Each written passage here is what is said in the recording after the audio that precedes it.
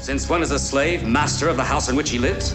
My prayers for you that you may one day see the face of Jesus. You must leave Simon and come to Rome with me. Why should we leave here? We're perfectly happy. Because I am being sent there, and I will not go without you. Romans, I have discovered that Simon was a victim of Christian treachery. This woman of his secretly conspired with Peter to bring about Simon's failure. Lead Simon, and we shall follow